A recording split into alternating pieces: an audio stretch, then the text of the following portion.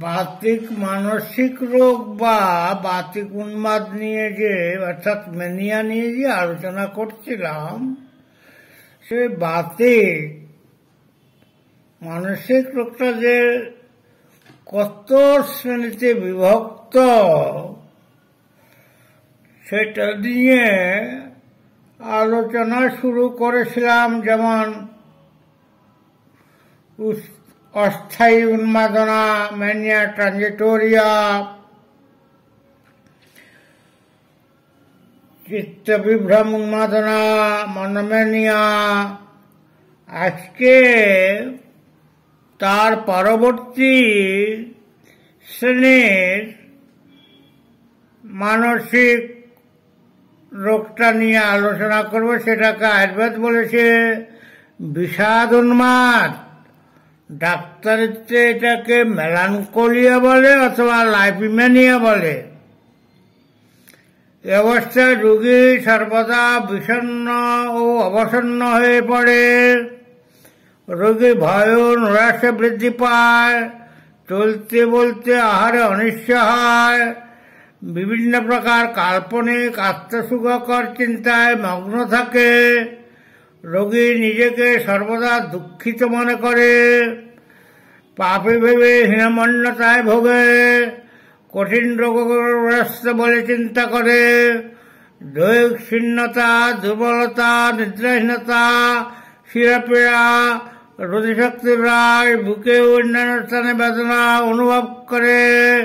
স্নায়ুশুল শরীরের পোষণ নিঃস্রাবা ক্রিয়া এবং শ্বাস প্রশ্বাসের ব্যতিক্রম দেখা দেয়।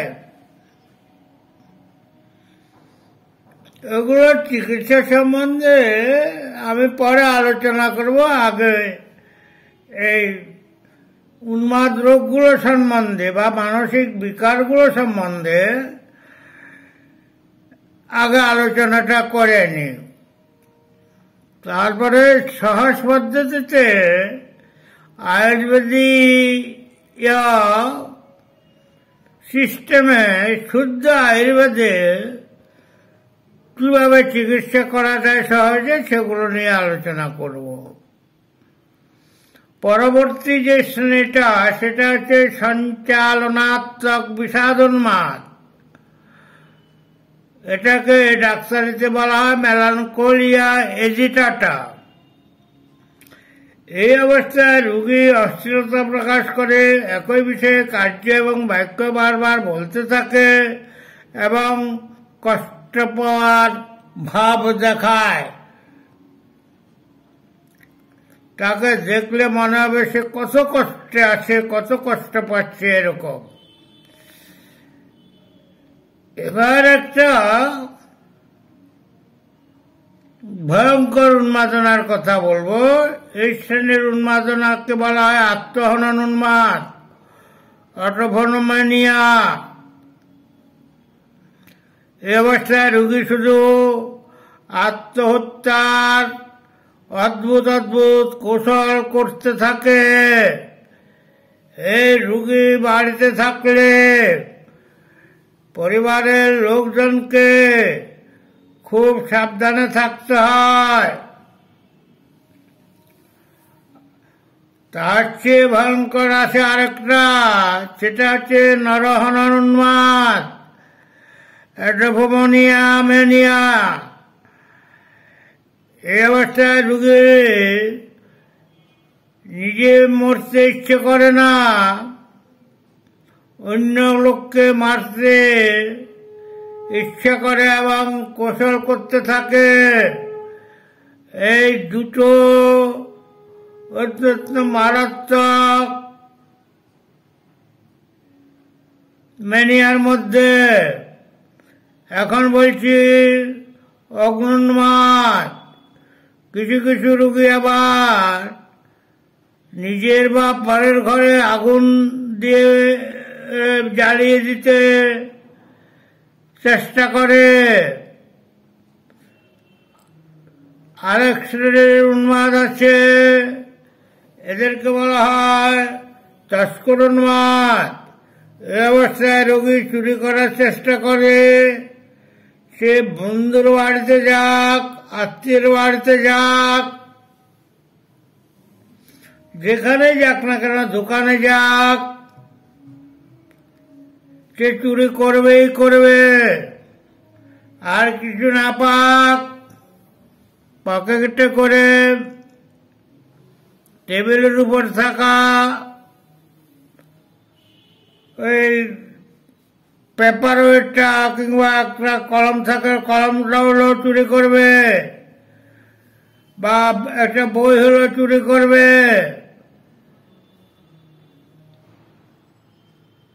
আর এক রকমের ম্যানিয়া আছে। এটাকে বলে প্রেম বিষাদন্মাদ এরোটোম্যানিয়া। এ অবস্থায় রোগীর নির্জনে বসে বসে প্রেমের বিষয়ে চিন্তা করে এবং প্রেম বিষয়ক বিভ্রম প্রলাপকে আর এক রকমের ম্যানিয়া আছে। এদেরকে বলা হয় কামন মাস নিফোম্যানিয়া বা মেট্রোমানিয়া এ অবস্থায় যৌন সম্পর্কের ইচ্ছা প্রবল হয়। সে পুরুষ হোক বা নারী হোক রোগী শারীরিক ও মানসিক অবসন্নতায় ভোগে। বিশেষ করে অল্প বয়সে বিধবা। আমাদের হিন্দুদের মধ্যে সাধারণত বিধবা বিবাহের খুব একটা চলন নেই। ঈশ্বরচন্দ্র বিদ্যাসাগর যেটুকু করেছিলেন তাতে এখন বিধবা বিবাহের প্রচলন হয়েছে, মাঝে মধ্যে এগুলো হয়, তবে বেশিরভাগ ক্ষেত্রে অনেক বিধবারা পরবর্তীকালে আর বিয়ে করতে চায় না। এই অল্প বয়সের বিধবা, আবার বয়স্কা কুমারী তিরিশ চল্লিশ বছর হয়ে গেছে, পঞ্চাশ বছর হয়ে গেছে। বিয়ে করেনি। বিভিন্ন কারণে করেনি, হয়তো প্রেমে আঘাত পেয়েছে, অথবা মা বাবা সময় মতন দিতে পারেনি। ইত্যাদি ইত্যাদি বহু কারণে এরা কুমারী থেকে যায়। তারপরে আছে প্রসিত ভার্তিকা অর্থাৎ যাদের স্বামীরা দীর্ঘকালের জন্য বিদেশে থাকে, বাড়ির বাইরে থেকে চাকরি বাকরি করে, ব্যবসা বাণিজ্য করে, দুই, তিন বছর, চার বছর পর্যন্ত বাড়ির সঙ্গে যোগাযোগ নেই, হয়তো টাকা পয়সা দিচ্ছে, সবই দিচ্ছে, কিন্তু স্ত্রীর সঙ্গে দৈহিক যে সম্পর্ক হওয়ার কথা, সেটা বাদ রেখে দিচ্ছে। এই সমস্ত মহিলাদেরকে বলা হয়, বধূদেরকে বলা হয়, প্রহসিত ভার্তিকা আবার আরেক রকমের মহিলারা আছে। আগে হিন্দু সমাজে এগুলোর প্রচলন খুব কম ছিল। মুসলমান সমাজে এগুলো হর ঘটতে ঘটত এখনও ঘটছে, আগামীতেও ঘটবে। তাদের ধর্মীয় কারণে সেটা হচ্ছে তালাক বা ইংরেজিতে ডিভোর্স বলা হয়। এই ডিভোর্সি মহিলারা বা তালাকপ্রাপ্ত মহিলারা দীর্ঘদিন স্বামী সঙ্গ করতে না পারার জন্য আর হচ্ছে আর হচ্ছে বিরোহিনী মহিলারা আর পুরুষের মধ্যে হচ্ছে প্রবাসী এবং যৌবনে বিপত্নিক পুরুষেরা এ রোগের শিকার। এখন অনেক পুরুষ, লক্ষ লক্ষ পুরুষ রুজি রোজগারের জন্য কি বাংলাদেশ, কি পাকিস্তান, কি ভারত? এই সকল দেশের থেকে রুজি রোজগার আয় বৃদ্ধির জন্য বিদেশে কাজ করে আরব সাম্রাজ্যে, কুয়েতে, দুবাইতে বেশি পয়সায় চাকরি করা যায় সেখানে মালয়েশিয়ায়। এই সমস্ত দেশে চাকরি করতে যায়। সেখানে বেশি দিন একাকী জীবন করে। অর্থাৎ পুরুষ হোক বা মহিলা হোক, বয়সকালে যদি সিঙ্গেল লাইফ মানে একাকী জীবন কাটায় কেউ তিনি যত শক্ত প্রকৃতির মহিলাই হন বা পুরুষ হন না কেন, কামতারণা কাহাকেও সারে না। কামদেব মদন সব সময় মানুষের হৃদয়ে পঞ্চস্বরে বিদ্ধ করার জন্য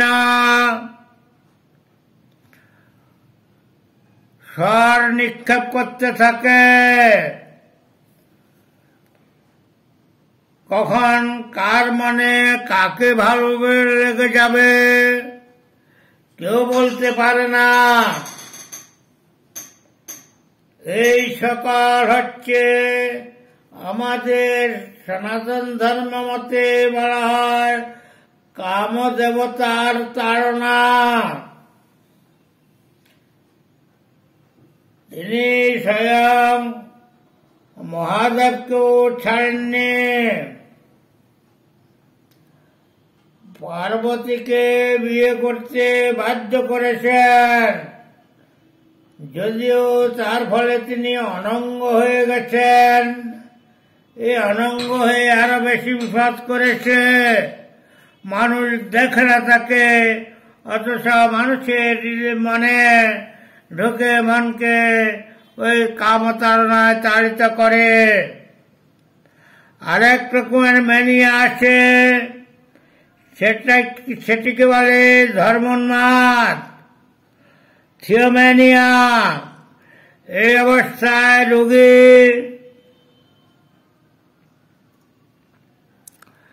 ধর্ম বিষয়ে অধিক অনুরাগী হয়ে কিংবা নাস্তিক হয়, কিংবা বিভ্রান্তিমূলক তর্ক বিতর্ক মত্ত হয়।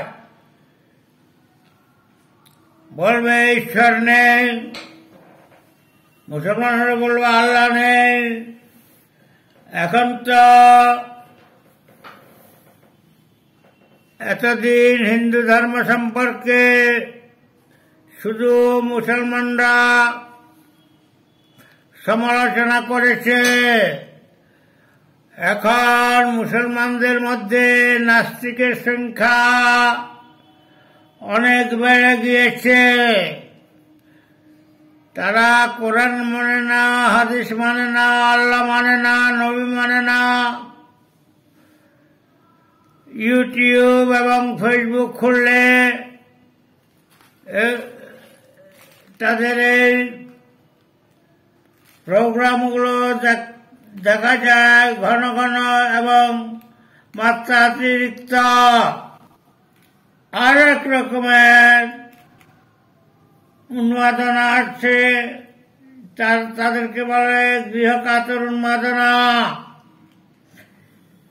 এই অবস্থায় রোগী মানসিক দুর্বলতাগ্রস্ত হয়, অনিদ্রা, অজীর্ণ অগ্নিমান্দ এগুলো প্রায় পেটের রুগী হয়। ছিন্নতা মস্তিষ্কে রক্তাধিক্য প্রভৃতিতে কষ্ট পায়। সংসার জ্ঞানহীন যুবকগণ বিদেশে থাকলে গৃহ সুখের চিন্তায় কাতর হয়ে পড়ে, পুনরায় গৃহে ফিরে এসে বেকার হয়ে ঘরের কোণে বসবাস করতে চেষ্টা করে, আগ্রহ করে চাকরি ছেড়ে দিয়ে চলে আসে। ফলে আর্থিক সংকটে ভোগে। মেয়েদের মধ্যে একটি উন্মাদনা আছে। রজলপথা জনিত উন্মাদ বলা হয়। এমন রিয়াল ইনসেনিটি বয়স্ক মহিলাদের রজলপথা জনিত কারণে আশ্রবকালের ব্যতিক্রম বিকৃতি রজরোধ হেতু জরায়ু মস্তিষ্কের বৈজ্ঞানিক বিকৃতির ফলে এমন হয়। ওই পঁয়তাল্লিশ পঞ্চাশ বছর বয়সে সাধারণত এই রুগী হতে দেখা যায়, আমি এরকম রুগী পেয়েছি। তাণ্ডব উন্মাদ বা কোরিয়া ইনসেনিটি। তাণ্ডব ব্যাধিগ্রস্ত রুগীদের মস্তিষ্কের স্নায়ুমণ্ডলী অ্যাক্সেসরি সেরব্রাল আক্রান্ত হয়ে এই অবস্থা ঘটে। এদের মানসিক অবসাদ সংজ্ঞালোপ বুদ্ধিবৃত্তির জড়তা, আক্ষেপ ও প্রলাপ প্রভৃতি লক্ষণ দেখা যায়। আজকের আলোচনা এখানেই শেষ করলাম। তোমরা সকলে ভালো থেকো।